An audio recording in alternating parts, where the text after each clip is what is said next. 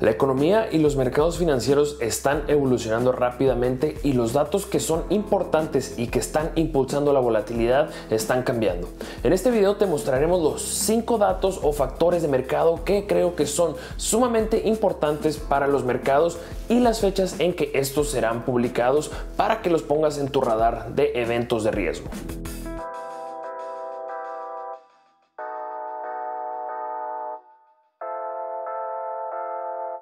A medida que avanzamos y la economía evoluciona y nos adentramos en esta última etapa del ciclo económico, donde las personas debaten la posibilidad y la probabilidad de una recesión ya sea en el 2023 o en el 2024 y vemos cambios en la volatilidad de mercados, hemos considerado que sería una buena idea presentar los cinco factores que simplemente tienen que estar en el radar de los inversores y traders en este momento, dado que estos tienen el mayor impacto en la volatilidad y son fundamentales para la narrativa de mercado o a medida que la economía economía evoluciona, podrían convertirse en un catalizador mucho más dominante para la volatilidad futura.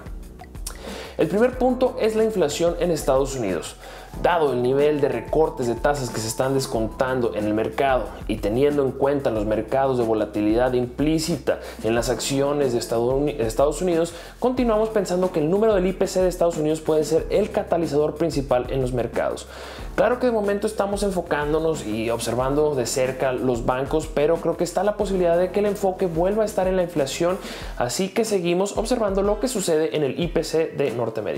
Ahora, la próxima publicación tomará lugar el 12 de abril y uno pudiera sospechar que probablemente veremos un número de inflación subyacente, el cual ronda entre el 0.4 y el 0.5% a modo mensual. El segundo punto es lo que pasa con los bancos. Esto es clave de momento. Así que estamos monitoreando el KRE, el ETF de los bancos regionales, el XLF o el índice bancario KBW y los cambios en los flujos de capital y su acción de precios puede tener un impacto considerable en los cambios en las expectativas de la tasa de interés y posteriormente en el flujo derivado en activos como el oro y también en las acciones. Aquí hay tres catalizadores realmente dominantes en los bancos donde uno se publica cada jueves y este es la actualización del balance de la Reserva Federal de Estados Unidos.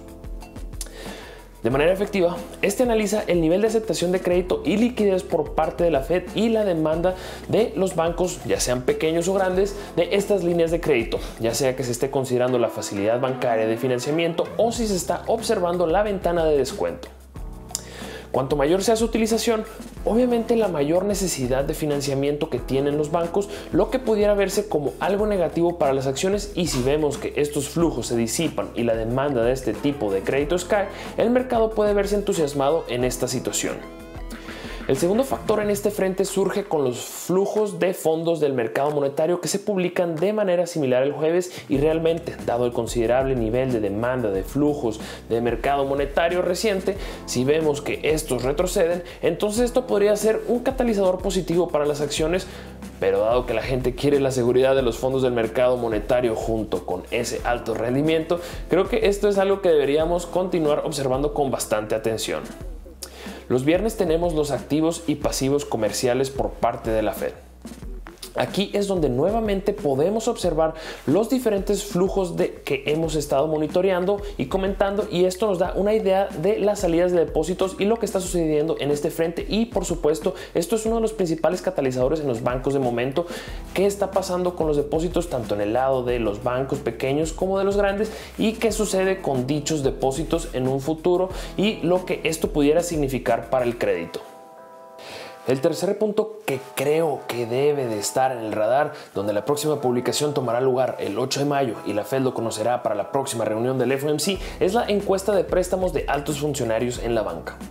Ahora, lo que sucede aquí es que la Fed encuestará a 80 de los bancos más grandes de Estados Unidos y observará los estándares crediticios y el endurecimiento de estos mismos. Efectivamente, a manera sencilla, ¿cuán difícil será para las empresas pedir prestado capital de estos bancos en el futuro? Y a medida que se ve este porcentaje aumentar, los estándares de préstamos se vuelven más estrictos y la disponibilidad de crédito, de crédito se reduce. La gente ve esto como una desaceleración en el crecimiento futura y como podemos ver, a medida que los estándares crediticios se endurecen, tradicionalmente hemos observado, se ha visto que los spreads de crédito se amplían y por consiguiente vemos un impacto negativo en el mercado de valores y por supuesto eso será un factor potencial en la volatilidad de mercados. En el cuarto punto, Considerando la desaceleración que estamos viendo en el crédito y dado lo que ha estado sucediendo en los bancos, la propensión a prestar menos, creo que realmente debemos echar un vistazo a la encuesta del optimismo de los pequeños negocios.